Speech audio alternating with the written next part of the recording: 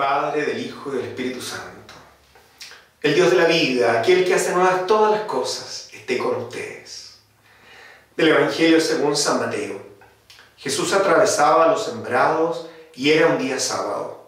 Como sus discípulos sintieron hambre, comenzaron a arrancar y a comer las espigas. Al ver esto, los fariseos le dijeron, mira que tus discípulos hacen lo que no está permitido en sábado. Pero él les respondió, ¿no han leído lo que hizo David cuando él y sus compañeros tuvieron hambre? ¿Cómo entró en la casa de Dios y comieron los panes de la ofrenda que no les estaba permitido ni a él ni a sus compañeros, sino solamente a los sacerdotes?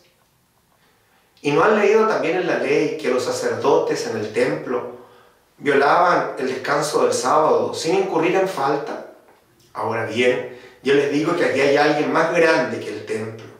Si hubieran comprendido lo que significa prefiero la misericordia al sacrificio, no condenarían a los inocentes, porque el Hijo del Hombre es dueño del sábado.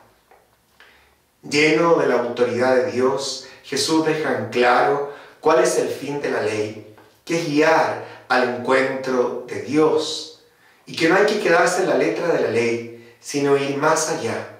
Por eso, respecto de una serie de medidas donde los fariseos se quedan atrapados en la mirada legalista, Jesús insiste en que Él tiene plena autoridad por sobre el sábado y una serie de otras medidas cultuales rígidas. Lo que quiere Cristo es la plena misericordia, más que el cumplimiento de la norma por sí misma. No es esta la que salva. Él ha venido a darle pleno cumplimiento al Antiguo Testamento. Esforcémonos nosotros por no quedar atrapados en ciertas miradas rígidas y busquemos agradar a Dios con la ofrenda agradable a Él, que es el fruto de nuestra conversión y de nuestra misericordia a través de las obras de caridad.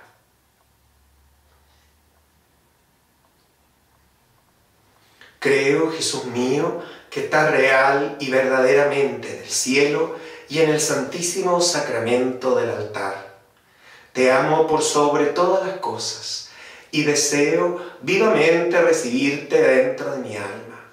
Mas, no pudiéndolo hacer ahora sacramentalmente, ven espiritualmente a mi corazón. Y como si ya te hubiese recibido, te abrazo y me uno del todo a ti. Señor, no permitas que me separe de ti que la bendición de Dios Todopoderoso, aquel que es Padre, Hijo y Espíritu Santo, les acompañe siempre.